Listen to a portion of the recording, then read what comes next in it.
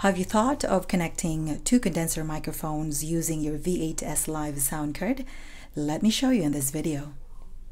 If you think you can connect one condenser microphone from here, from the condenser microphone port, and the other condenser microphone using the dynamic microphone port, well, that works as well with the use of this uh, audio adapter that looks like that. However, the volume of the microphone using the dynamic mic port is not as loud when it is connected using the condenser microphone port.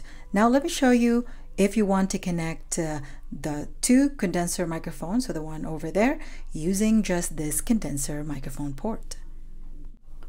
First, we will need this kind of cable, XLR to 3.5 jack. We will connect the 3.5 jack to the condenser microphone port. And from here, we will need this XLR splitter. So from here, we will connect this one to here. And now we will connect this one to two of those condenser microphone.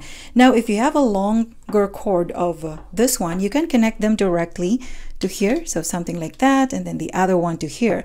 But if uh, you only have something like this, the one that I have, that it's not as long, then you will use this one here. So, so that it's not close to each other. So let's connect this one here. So this is just XLR male to female. So let's use one end to here. So this one, let's connect to there. And then let's connect the other end, let's say to this microphone over here. And now uh, this other end, let's connect another XLR male to female. So from here, let's just connect this one there. And now the other end, let's connect to this condenser microphone.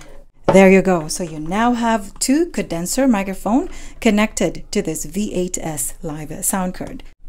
Now to do an audio test, let's uh, do a sample recording to this phone over here. So I will use the micro USB to uh, 3.5 TRRS. Normally this comes when you buy or get this uh, V8S Live sound card. So from here I'll connect this one, the TRRS, the one that has three lines to this lightning adapter.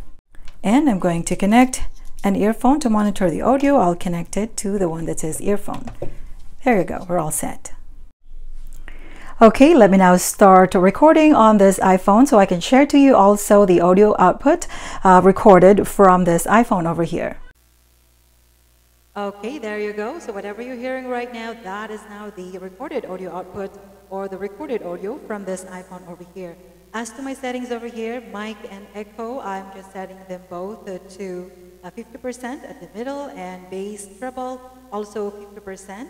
And the main thing here, just a tip for you, if you have this kind of V8S Live sound card, the tape or the record volume knob has to be on high. Otherwise, uh, you're not recording an audio, uh, you're just recording video. Okay, so again, that is using this uh, condenser microphone.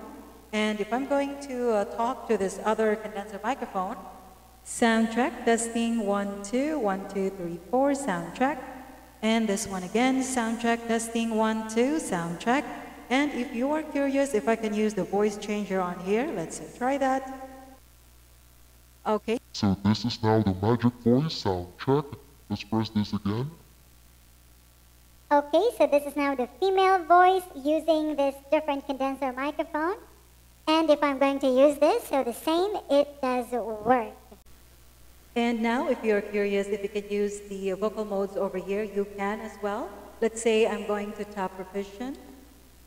Okay, so this is professional, so this is good for singing. And if I'm going to tap sing, okay, so this is your KTV and a few more vocal modes on here. And this time, let me show you a quick sample using two condenser microphones connected to this V8S Live sound cards. Let us do an a cappella duet song. Sometimes when we touch, the honesty's too much, and I have to close my eyes and hide. I wanna hold you till I die, till we both break down and cry. I wanna hold you till the fear in me subsides. And there you go. As you notice, it does work. The only catch is there is a buzzing sound.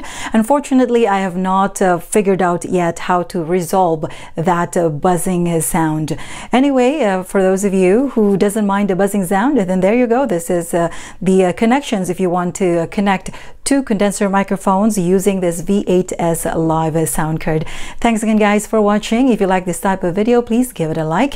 And if you want more of this type of videos, consider subscribing if you haven't done yet and hit the notification bell so you are always updated for all the upcoming videos I will be posting. Keep safe and until next time.